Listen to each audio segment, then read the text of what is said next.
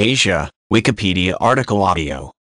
Asia is Earth's largest and most populous continent, located primarily in the eastern and northern hemispheres. It shares the continental landmass of Eurasia with the continent of Europe and the continental landmass of Afro-Eurasia with both Europe and Africa. Asia covers an area of 44,579,000 square kilometers, about 30% of Earth's total land area and 87% of the Earth's total surface area.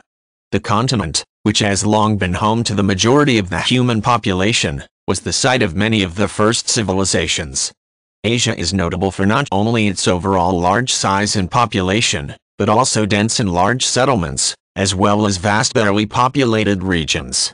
Its 4-5 billion people constitute roughly 60% of the world's population. In general terms, Asia is bounded on the east by the Pacific Ocean, on the south by the Indian Ocean, and on the north by the Arctic Ocean. The border of Asia with Europe is a historical and cultural construct, as there is no clear physical and geographical separation between them. It is somewhat arbitrary and has moved since its first conception in classical antiquity. The division of Eurasia into two continents reflects east-west cultural, linguistic, and ethnic differences, some of which vary on a spectrum rather than with a sharp dividing line. The most commonly accepted boundaries place Asia to the east of the Suez Canal separating it from Africa, and to the east of the Turkish Straits, the Ural Mountains and Ural River, and to the south of the Caucasus Mountains and the Caspian and Black Seas, separating it from Europe.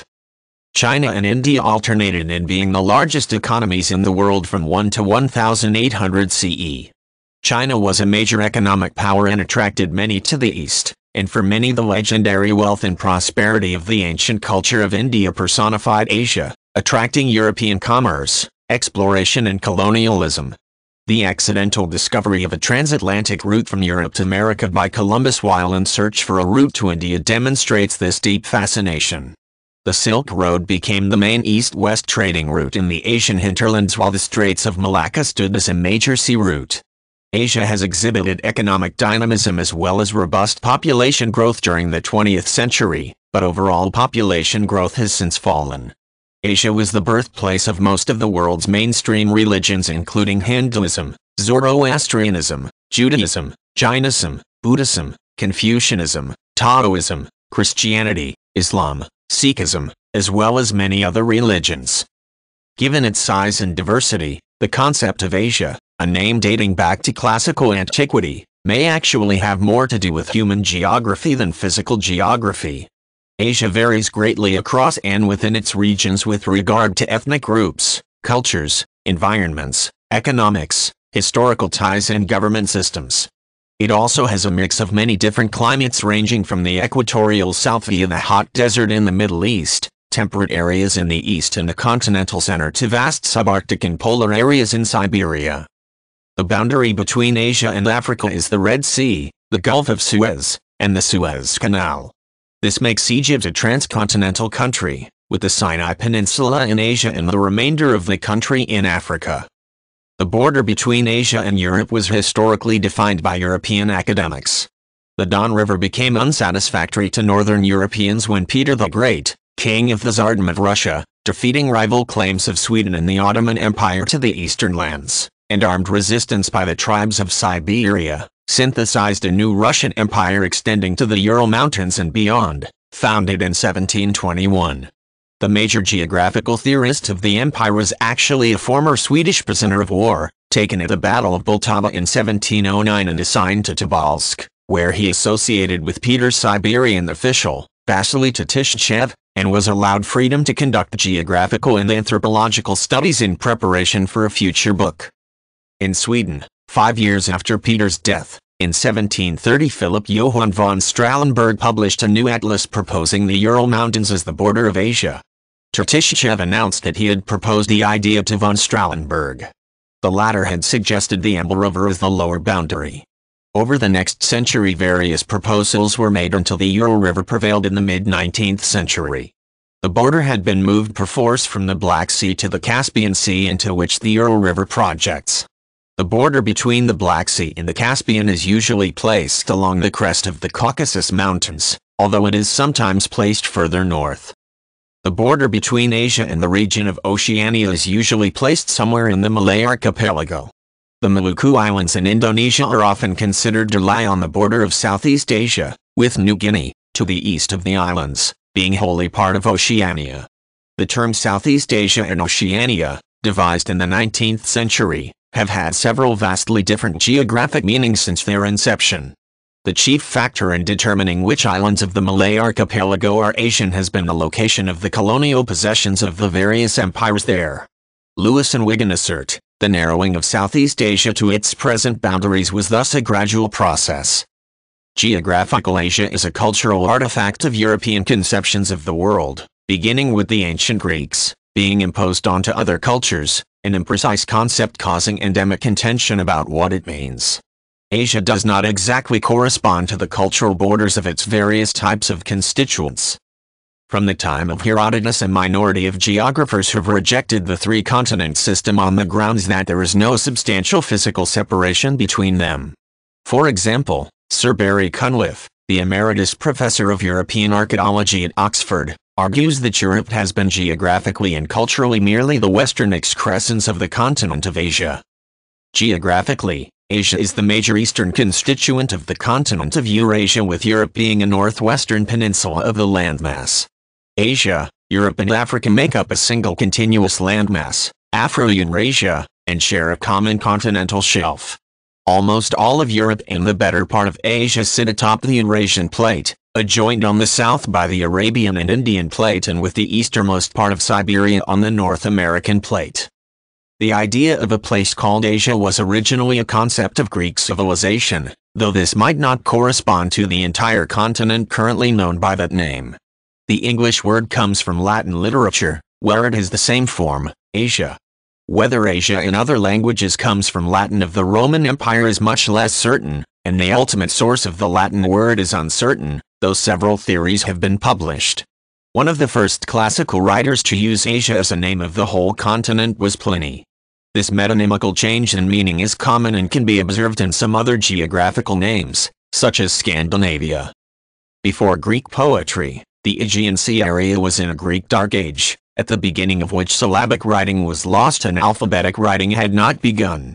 Prior to then in the Bronze Age the records of the Assyrian Empire, the Hittite Empire and the various Mycenaean states of Greece mention a region undoubtedly Asia, certainly in Anatolia, including if not identical to Lydia. These records are administrative and do not include poetry. The Mycenaean states were destroyed about 1200 BCE by unknown agents although one school of thought assigns the Dorian invasion to this time. The burning of the palaces baked clay diurnal administrative records written in a Greek syllabic script called Linear B, deciphered by a number of interested parties, most notably by a young World War II cryptographer, Michael Ventris, subsequently assisted by the scholar, John Chadwick. A major cache discovered by Carl Blegen at the site of ancient Pylos included hundreds of male and female names formed by different methods. Some of these are of women held in servitude. They were used in trades, such as cloth making, and usually came with children. The epithet loyai, captives, associated with some of them identifies their origin. Some are ethnic names. One in particular, Iswai, identifies women of Asia. Perhaps they were captured in Asia, but some others, Malaysia, appear to have been of Miletus, a Greek colony, which would not have been raided for slaves by Greeks. Chadwick suggests that the names record the locations where these foreign women were purchased. The name is also in the singular, Ajwaya, which refers both to the name of a country and to a female of it. There is a masculine form, Aswayas. This Ashwia appears to have been a remnant of a region known to the Hittites as Asua, centered on Lydia, or Roman Asia. This name, Asua, has been suggested as the origin for the name of the continent Asia. The Asua League was a confederation of states in western Anatolia, defeated by the Hittites under Tudhaliya around 1400 BCE. Alternatively, the etymology of the term may be from the Akkadian word circumflex, which means to go outside or to send, referring to the direction of the sun at sunrise in the Middle East and also likely connected with the Phoenician word asa meaning east. This may be contrasted to a similar etymology proposed for Europe, as being from Akkadian Eribu to enter or set. Tr. Reid supports this alternative etymology, noting that the ancient Greek name must have derived from Asu, meaning East in Assyrian. The ideas of Occidental and Oriental are also European invention, synonymous with Western and Eastern. Reid further emphasizes that it explains the Western point of view of placing all the peoples and cultures of Asia into a single classification, almost as if there were a need for setting the distinction between Western and Eastern civilizations on the Eurasian continent. Kazuo Ogura and Tenshin Okakura are two outspoken Japanese figures on the subject. Latin Asia and Greek Saya appear to be the same word. Roman authors translated Saya as Asia. The Romans named a province Asia, located in western Anatolia. There was an Asia Minor and an Asia Major located in modern-day Iraq. As the earliest evidence of the name is Greek, it is likely circumstantially that Asia came from Saya, but ancient transitions, due to the lack of literary contexts, are difficult to catch in the act. The most likely vehicles were the ancient geographers and historians, such as Herodotus, who were all Greek. Ancient Greek certainly evidences early and rich uses of the name. The first continental use of Asia is attributed to Herodotus, not because he innovated it, but because his histories are the earliest surviving prose to describe it in any detail. He defines it carefully, mentioning the previous geographers whom he had read, but whose works are now missing. He means Anatolia in the Persian Empire, in contrast to Greece and Egypt. Herodotus comments that he is puzzled as to why three women's names were given to a tract which is in reality one, stating that most Greeks assumed that Asia was named after the wife of Prometheus, but that the Lydians say it was named after Ases, son of Cotys, who passed the name on to a tribe at Sardis. In Greek mythology, Asia or Asi was the name of a nymph or titan goddess of Lydia. In ancient Greek religion, places were under the care of female divinities, parallel to guardian angels. The poets detailed their doings and generations in allegoric language salted with entertaining stories, which subsequently playwrights transformed into classical Greek drama and became Greek mythology. For example, Hesiod mentions the daughters of Tethys and Ocean, among whom are a holy company, who with the Lord Apollo in the rivers have youths in their keeping. Many of these are geographic, Doris, Rhodia, Europa, Asia. Hesiod explains, for there are 3,000 neat-ankled daughters of ocean who are dispersed far and wide, and in every place alike serve the earth in the deep waters. The Iliad mentions two Phrygians in the Trojan War named Asius, and also a marsh or lowland containing a marsh in Libya as Asius. According to many Muslims, the term came from ancient Egypt as Queen Asiya, the adoptive mother of Moses.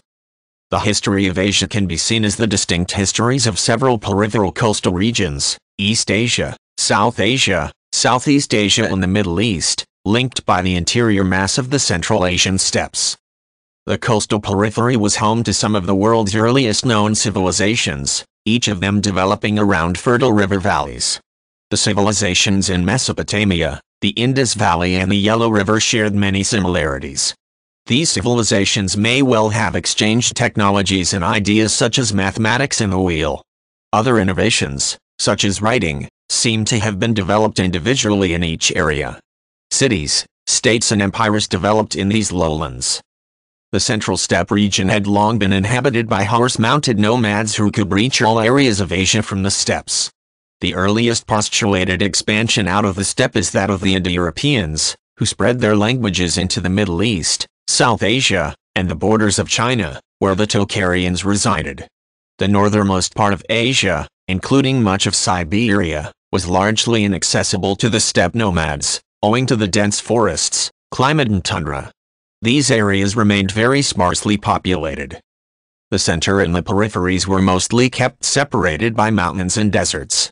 The Caucasus and Himalaya mountains and the Karakum and Gobi deserts formed barriers that the steppe horsemen could cross only with difficulty. While the urban city dwellers were more advanced technologically and socially, in many cases they could do little in a military aspect to defend against the mounted hordes of the steppe. However, the lowlands did not have enough open grasslands to support a large horsebound force. For this and other reasons, the nomads who conquered states in China, India, and the Middle East often found themselves adapting to the local, more affluent societies. The Islamic Caliphate's defeats of the Byzantine and Persian empires led West Asia and southern parts of Central Asia and western parts of South Asia under its control during its conquests of the 7th century. The Mongol Empire conquered a large part of Asia in the 13th century, an area extending from China to Europe. Before the Mongol invasion, Song dynasty reportedly had approximately 120 million citizens. The 1300 census which followed the invasion reported roughly 60 million people. The Black Death, one of the most devastating pandemics in human history, is thought to have originated in the arid plains of Central Asia, where it then traveled along the Silk Road. The Russian Empire began to expand into Asia from the 17th century, and would eventually take control of all of Siberia and most of Central Asia by the end of the 19th century. The Ottoman Empire controlled Anatolia, most of the Middle East, North Africa and the Balkans from the mid-16th century onwards. In the 17th century, the Manchu conquered China and established the Qing dynasty. The Islamic Mughal Empire and the Hindu Maratha Empire controlled much of India in the 16th and 18th centuries respectively. The Empire of Japan controlled most of East Asia and much of Southeast Asia, New Guinea and the Pacific Islands until the end of World War II. Map of Western, Southern, and Central Asia in 1885. The Map of Asia in 1796, which also included the continent of Australia. 1890 Map of Asia, Asia is the largest continent on Earth. It covers 9% of the Earth's total surface area, and has the longest coastline, at 62,800 kilometers. Asia is generally defined as comprising the eastern four-fifths of Eurasia. It is located to the east of the Suez Canal and the Ural Mountains, and south of the Caucasus Mountains and the Caspian and Black Seas. It is bounded on the east by the Pacific Ocean, on the south by the Indian Ocean and on the north by the Arctic Ocean. Asia is subdivided into 48 countries, three of them having part of their land in Europe. Asia has extremely diverse climates and geographic features. Climates range from Arctic and subarctic in Siberia to tropical in southern India and Southeast Asia. It is moist across southeast sections, and dry across much of the interior. Some of the largest daily temperature ranges on Earth occur in western sections of Asia. The monsoon circulation dominates across southern and eastern sections, due to the presence of the Himalayas forcing the formation of a thermal low which draws in moisture during the summer. Southwestern sections of the continent are hot. Siberia is one of the coldest places in the northern hemisphere, and can act as a source of Arctic air masses for North America. The most active place on Earth for tropical cyclone activity lies northeast of the Philippines and south of Japan. The Gobi Desert is in Mongolia and the Arabian Desert stretches across much of the Middle East. The Yangtze River in China is the longest river in the continent. The Himalayas between Nepal and China is the tallest mountain range in the world. Tropical rainforests stretch across much of southern Asia and coniferous and deciduous forests lie farther north. Kerala backwaters. Mongolian steppe. South China karst. Altai Mountains. Hunza Valley. Maldivian Coral Reef. A survey carried out in 2010 by Global Risk Analysis Farm Maplecroft identified 16 countries that are extremely vulnerable to climate change. Each nation's vulnerability was calculated using 42 socio-economic and environmental indicators, which identified the likely climate change impacts during the next 30 years. The Asian countries of Bangladesh, India, Vietnam, Thailand, Pakistan and Sri Lanka were among the 16 countries facing extreme risk from climate change. Some shifts are already occurring. For example, in tropical parts of India with a semi-arid climate, the temperature increased by 0.4 degrees Celsius between 1901 and 2003 semicolon, a 2013 study by the International Crops Research Institute for the Semi-Arid Tropics aimed to find science-based, proper approaches and techniques that would enable Asia's agricultural systems to cope with climate change, while benefiting poor and vulnerable farmers. The study's recommendations ranged from improving the use of climate information and local planning and strengthening weather-based agro-advisory services, to stimulating diversification of rural household incomes and providing incentives to farmers to adopt natural resource conservation measures to enhance forest cover, replenish groundwater and use renewable energy. Asia has the largest continental economy by both GDP nominal and PPP in the world, and is the fastest growing economic region. As of 2018, the largest economies in Asia are China, Japan, India, Russia, South Korea, Indonesia and Turkey based on GDP in both nominal and PPP. Based on global office locations 2011, Asia dominated the office locations with four of the top five being in Asia, Hong Kong, Singapore, Tokyo and Seoul. Around 68% of international firms have office in Hong Kong. In the late 1990s and early 2000s, the economies of China and India have been growing rapidly, both with an average annual growth rate of more than 8%.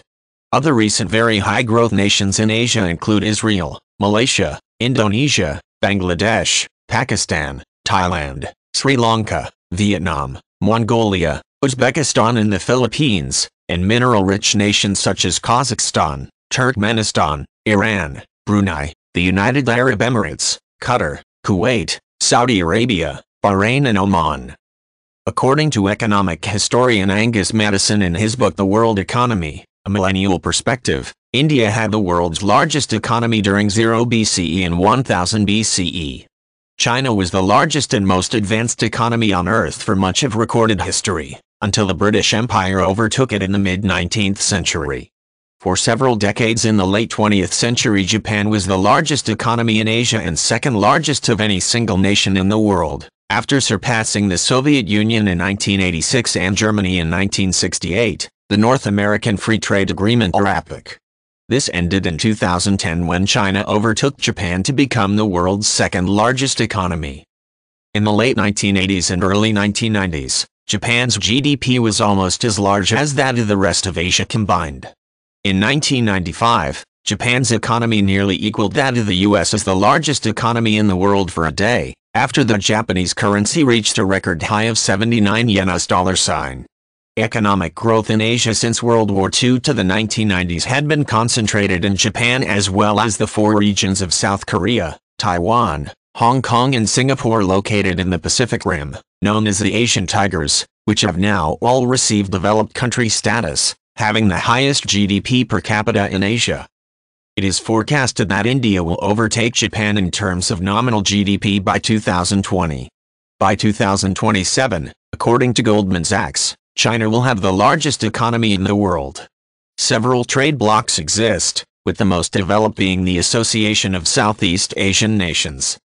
Asia is the largest continent in the world by a considerable margin, and it is rich in natural resources, such as petroleum, forests, fish, water, rice, copper and silver.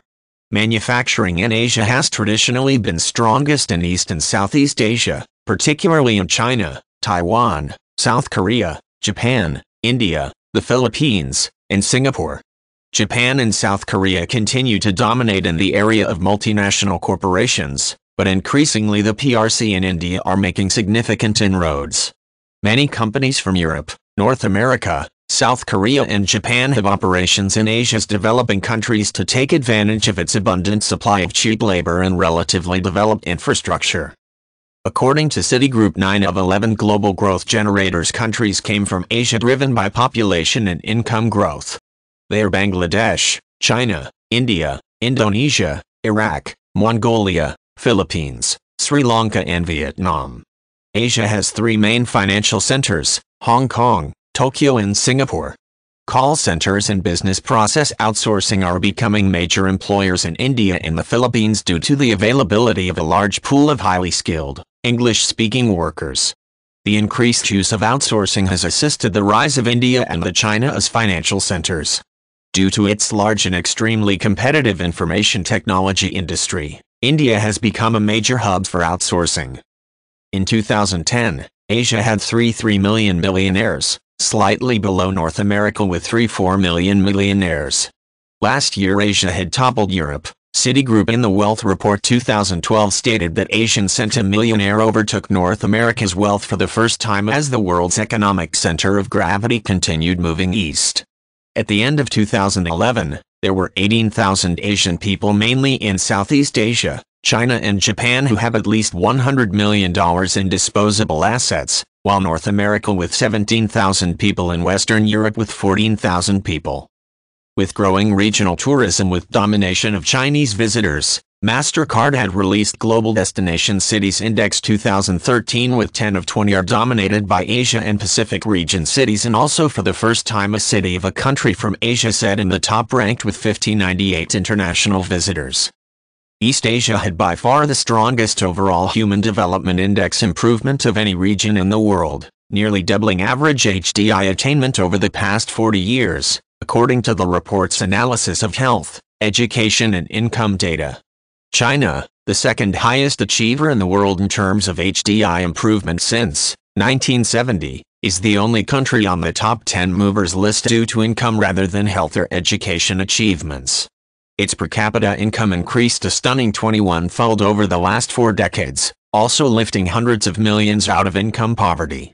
Yet it was not among the region's top performers in improving school enrollment and life expectancy. Nepal, a South Asian country, emerges as one of the world's fastest movers since 1970 mainly due to health and education achievements. Its present life expectancy is 25 years longer than in the 1970s. More than four of every five children of school age in Nepal now attend primary school, compared to just one in five 40 years ago. Hong Kong ranked highest among the countries grouped on the HDI, followed by Singapore, Japan and South Korea. Afghanistan ranked lowest amongst Asian countries out of the 169 countries assessed. Asia is home to several language families and many language isolates. Most Asian countries have more than one language that is natively spoken. For instance, according to Ethnologue, more than 600 languages are spoken in Indonesia, more than 800 languages spoken in India, and more than 100 are spoken in the Philippines. China has many languages and dialects in different provinces. Many of the world's major religions have their origins in Asia, including the five most practiced in the world, which are Christianity, Islam, Hinduism, Chinese folk religion, and Buddhism respectively. Asian mythology is complex and diverse. The story of the Great Flood for example, as presented to Jews in the Hebrew Bible and the narrative of Noah, and later to Christians in the Old Testament, and to Muslims in the Quran, is earliest found in Mesopotamian mythology, in the Enuma Elish and Epic of Gilgamesh. Hindu mythology similarly tells about an avatar of Vishnu in the form of a fish who warned Manu of a terrible flood. Ancient Chinese mythology also tells of a great flood spanning generations, one that required the combined efforts of emperors and divinities to control. The Abrahamic religions including Judaism, Christianity, Islam and Baha'i faith originated in West Asia. Judaism, the oldest of the Abrahamic faiths, is practiced primarily in Israel, the indigenous homeland and historical birthplace of the Hebrew nation, which today consists both of those Jews who remained in the Middle East and those who returned from diaspora in Europe, North America, and other regions though various diaspora communities persist worldwide. Jews are the predominant ethnic group in Israel numbering at about 6-1 million, although the levels of adherence to Jewish religion vary. Outside of Israel there are small ancient Jewish communities in Turkey, Azerbaijan, Iran, India and Uzbekistan, among many other places. In total, there are 14.4-17.5 million Jews alive in the world today, making them one of the smallest Asian minorities, at roughly 0.3 of the total population of the continent.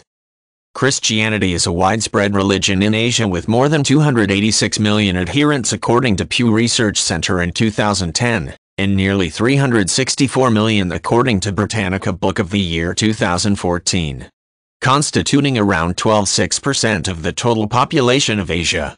In the Philippines and East Timor, Roman Catholicism is the predominant religion. It was introduced by the Spaniards and the Portuguese, respectively.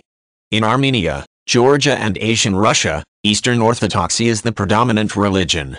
In the Middle East, such as in the Levant, Syriac Christianity and Oriental Orthodoxy are prevalent minority denominations, which are both Eastern Christian sects mainly adherent to Syrian people or Syriac Christians.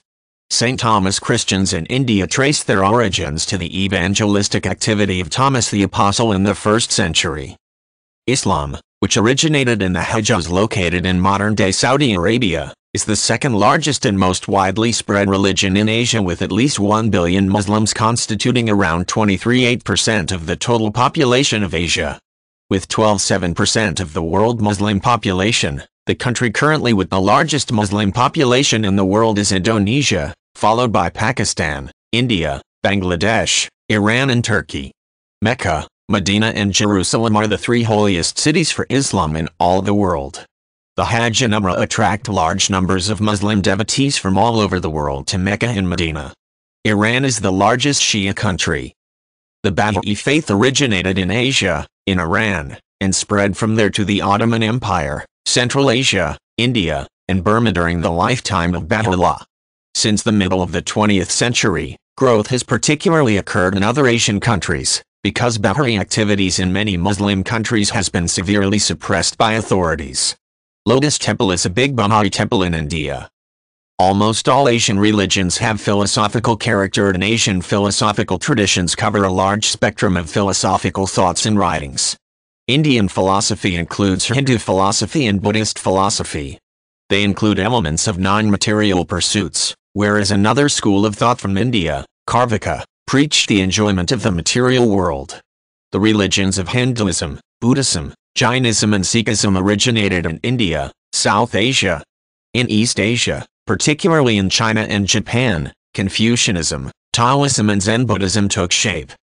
As of 2012, Hinduism has around 1 1 billion adherents. The faith represents around 25% of Asia's population and is the largest religion in Asia. However, it is mostly concentrated in South Asia, over 80% of the populations of both India and Nepal adhere to Hinduism, alongside significant communities in Bangladesh, Pakistan, Bhutan, Sri Lanka and Bali, Indonesia. Many overseas Indians in countries such as Burma, Singapore and Malaysia also adhere to Hinduism. Buddhism has a great following in mainland Southeast Asia and East Asia. Buddhism is the religion of the majority of the populations of Cambodia, Thailand, Burma, Japan, Bhutan, Sri Lanka, Laos and Mongolia. Large Buddhist populations also exist in Singapore, Taiwan, South Korea, Malaysia, Nepal, Vietnam, China, North Korea, and small communities in India and Bangladesh. In many Chinese communities, Mahayana Buddhism is easily syncretized with Taoism, thus exact religious statistics is difficult to obtain and may be understated or overstated. The communist-governed countries of China, Vietnam and North Korea are officially atheist, thus the number of Buddhists and other religious adherents may be underreported. Jainism is found mainly in India and in overseas Indian communities such as the United States and Malaysia.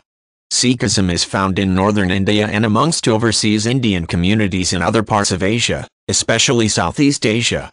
Confucianism is found predominantly in mainland China, South Korea, Taiwan and in overseas Chinese populations.